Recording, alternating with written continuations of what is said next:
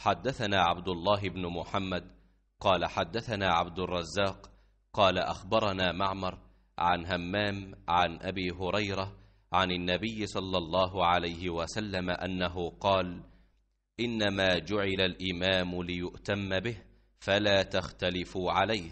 فإذا ركع فاركعوا وإذا قال سمع الله لمن حمده فقولوا ربنا لك الحمد وإذا سجد فاسجدوا وإذا صلى جالسا فصلوا جلوسا أجمعون وأقيموا الصف في الصلاة فإن إقامة الصف من حسن الصلاة